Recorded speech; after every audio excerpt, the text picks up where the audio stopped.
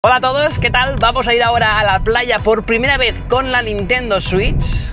Nunca la llevo en la playa, tampoco os recomiendo que la llevéis a la playa porque a lo mejor puede entrar un poco de arena y estropearse. Os voy a mostrar tres accesorios, uno de ellos lo he hecho yo, así que veréis un poquito de Art Attack en este vídeo también. Pues nada, ya estamos en la playa, parece que no hay apenas nadie, no veo mucho coche, así que estaremos tranquilos para grabar el vídeo. Pues nada chicos, salimos del coche. Let's go. Ay. ¿Qué? ¿Salimos o no? Vais a ver que voy un poquito equipado con cosas y accesorios. Como veis esto, es precioso. O sea, apenas hay edificios aquí alrededor. Parece una playa totalmente virgen. Ya sabéis, si quieres más vídeos fuera en el exterior, darle a este vídeo un fuerte like, suscríbete si no estás y sobre todo darle a la campanita para que os notifique siempre de mis rigurosos directos y de mis vídeos como este. Así que, dicho esto, vamos para allá hacia la playa. Hace un poco de aire, pero bueno, ¿eh? Se puede estar. Puede estar bien. Luego que está por aquí. Mi Gamer. Ahora ponemos la sombrilla también. Pues nada, chicos, aquí tenemos la sombrilla. Es grande, ¿eh? La sombrilla. Se clava y ya está, ¿no? Esto. Bien clavada. Yo creo que está bien clavada ya. Y ahora la sombrilla. Que la sombrilla, chicos, Ay, le das. Hace airecito, ¿eh? Como huele esto, le hemos liado, ¿eh? Está bien, ¿no? ¿Eh? Bueno, ahora viene lo bueno, ¿vale? Ahora veremos qué accesorios utilizaremos para jugar a la Switch en la playa. Está bien aquí, en verdad, ¿eh? Bueno, sacamos los accesorios y la Nintendo Switch porque veis un poquito qué utilizaría yo en la playa sin embargo, creo que son demasiados accesorios. Al final, con solo la Switch ya es suficiente. Pero ahora lo veréis. También llevo un libro a veces para leer en la playa. Pero hoy no, hoy toca jugar la Switch en plena playa. Así que lo apartamos, cogemos la Nintendo Switch. ¿Dónde llevo esta funda? Eh, que es muy cómoda, es muy grande, cabe muchos accesorios así que siempre llevo conmigo. Tenéis todos los links, los accesorios y todo abajo en la descripción, ¿de acuerdo? Por si queréis comprarlos.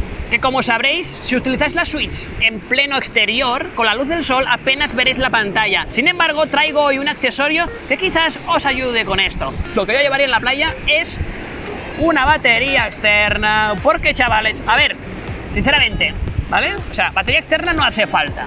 No hace falta porque tres horas que dura la batería de la Switch es suficiente para estar en la playa. Si estás para toda la playa, pues vais a quemar, ¿vale? Así que tampoco haría falta traer una batería, pero esta es la opción.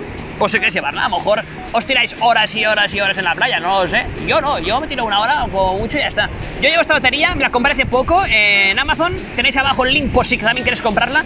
Me la llevo de viaje para cargar el móvil, la Switch y todo. Esta me duró durante tres días de carga de móviles, así que va bien. Dura bastante, chicos. No compréis baterías de low cost porque al final sale caro, ¿vale? Además, si cargáis mal la batería de la Switch, podría perjudicar esta batería y durar menos. Que lo sepáis. Guardamos la funda con la batería porque no hace falta. Y ahora traigo otro accesorio más, muy interesante, que quizás os puede gustar. Y a la vez es un poco gracioso. Esto, chicos, es un panel solar, ¿vale? Te carga la, la Switch, el móvil y lo que tú quieras. Ahora sí, hay que ponerlo en el sol. Si una sombrilla, como yo en mi caso, pues es mejor apartarlo, dejarlo aquí atrás, ¿vale? En pleno del sol. Y aquí tirar el cable hasta la Nintendo Switch para cargarla mientras jugáis. Que insisto, no deja de ser algo exagerado. Tampoco hace falta llevarse un panel solar en la playa, ¿no? Se van a reír de vosotros. ¿De dónde va este friki con el panel solar, sabes? Se pueden reír lo que quieran, pero esto funciona. Lo dejaríamos, por ejemplo, en pleno sol, para que cogiera la energía del sol, cogeríamos el conector USB que hay aquí, conectamos aquí con esto en el panel solar y aquí directamente iría ya la Nintendo Switch conectada. Y efectivamente está cargando. No lo vais a ver porque no se ve la luz del sol, pero está cargando, ¿de acuerdo? Se ve. Así que funciona y es eficiente. Ahora sí, es exagerado no hace falta, creo yo. Pero en viajes que no tenéis eh, acceso a un conector para cargar la Switch o bien no tenéis baterías externas, esto te salva la vida, que lo sepáis. Guardamos esto porque ahora viene el accesorio más importante para usar en pleno sol y en plena playa. Es más útil que puede servir para jugar eh, bajo el sol. Vamos. Chicos, este accesorio eh, lo he hecho yo. Me ha costado un euro y poco, no más. Ahora veréis cómo se hace esto, ¿de acuerdo? Ahora os muestro cómo, cómo funciona. Pero luego pondré un vídeo del tutorial para hacer esto, que es muy barato y además lo hacéis en dos minutos. Colocáis los Joy-Cons con la goma, ¿de acuerdo? Colocáis así. La goma que agarra el Joy-Con, ¿de acuerdo? Y la otra igual. Así de fácil, ¿vale? Si no tenéis sombrilla, podéis jugar a la Switch en pleno sol y con este parasol no habría ningún problema apenas. A ver, se ve. Cuesta verlo igualmente, ¿eh? No es que sea esto súper eficaz y que enseguida puedes ver todo súper iluminado. Sino no, o sea, obviamente en el exterior te va a costar un poquito ver la pantalla. Sin embargo, ayudará un poquito más a que no refleje tanto el sol. Vais a ver ahora el tutorial de cómo hacer este accesorio. Primero de todo, necesitamos una cartulina, por ejemplo, negra en mi caso, un par de gomas también, unas tijeras para cortar la cartulina y, por supuesto, una Nintendo Switch. Sacamos los Joy-Cons, utilizaremos un papel blanco para que veáis claramente cómo hago las medidas, porque con el negro apenas se veía. Marcamos por la parte de arriba lo que mide exactamente la Switch y luego por los laterales hacemos otra marca más por la parte superior, tanto por la derecha como por la izquierda. Asimismo marcamos el grosor con la parte, obviamente, lateral de la Nintendo Switch como medida. Ahora marcaremos el grosor de esta sombrilla para Nintendo Switch, tomando la medida del lateral de la Switch. Y ahora mismo trazaremos unas pestañitas para que tengamos de referencia para luego hacer el pliegue. Además haremos unos trazados por la parte lateral para que quede más bonito. Y ahora ya está, recortamos esta cartulina con las tijeras. Y una vez todo recortado, haremos dos cortes pequeños en las pestañas. Ahí está. Y ahora lo doblamos para que empiece a coger forma. Tenemos que tener tres pestañas en total. Hacemos ahí los pliegues. Asimismo marcamos otro pliegue más, tal y como yo lo hago. Por las dos partes, ¿de acuerdo? Una vez esto, cogeremos las gomas y las pondremos por el pliegue de la izquierda y el de la derecha. Y ahora grafamos, sin coger del todo la goma, y también por el otro lado. Colocamos la goma por encima de los Joy-Cons para que quede bien agarrado y efectivamente aquí tenemos lo que sería como una sombrilla para evitar que el sol refleje en nuestra pantalla de Nintendo Switch. ¡Voilà! Ahora hablemos sobre cómo jugar a ciertos juegos en el modo online. Por ejemplo, ¿se podría jugar a Fortnite en plena playa? Vayáis donde vayáis, ya sea a la montaña, a la playa, de viaje, mientras tengáis datos móviles, podéis jugar a cualquier juego online, ¿de acuerdo? Incluso al Fortnite. Simplemente tenéis que crear un punto wifi con vuestro móvil y ya podéis jugar a partidas con vuestros amigos. Obviamente os consumirá un poco de datos, no demasiados, son 30 megas más o menos por cada partida casi ganada o ganada, así que tampoco es tanto. Pensando que son varias gigas las que tenéis, no es demasiado y puedes jugar un montón de partidas sin ningún problema.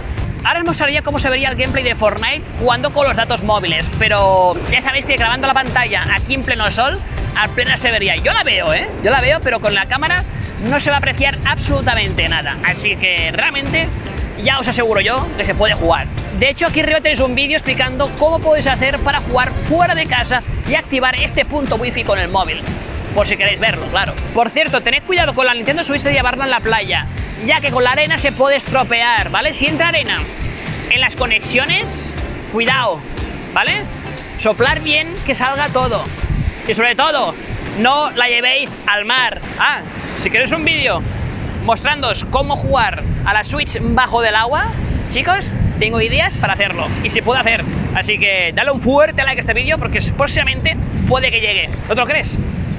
Lo crees. Pues chicos, sí. De hecho, ahora os diré qué juegos recomiendo yo para jugar en la playa, los cuales no requieren conexión a internet. Aquí tenéis los juegos que he traído en la playa, son cuatro. No, mentira, son tres, ¿vale? Tenemos, primero de todo, el Pokémon Let's Go, que es un juego que puedes jugar tranquilamente y tampoco requiere tanta precisión para ver bien la pantalla, ¿de acuerdo? Puedes ir jugando tranquilamente, como es por turnos, no hay ningún problema. ¿Vale? Así que Pokémon Let's Go es un juego súper recomendado para jugar fuera de casa en plena playa, por ejemplo. Otro más sería Super Mario Maker 2, que en este caso yo recomendaría, en vez de jugar partidas, pues crear niveles. Y crear niveles fuera de casa, tranquilamente en la playa, es muy relajante, chicos. Que por cierto, voy a estar jugando Super Mario Maker 2 a través de Twitch, ¿vale? Así que si queréis, lo tenéis abajo en la descripción, pues si queréis seguirme. Otro juego más que puedo recomendaros es el Super Mario más eh, Kingdom Battle, el cual también es por turnos y no requiere tampoco esa precisión como otros juegos, como en el caso de Fortnite, ¿no? No lo sé, chicos, yo he traído tres juegos únicamente. Si queréis que hay más juegos que quizás funcionen bien para jugar en medio de la playa, ponedme en los comentarios y a lo mejor me lo compro para jugarlo.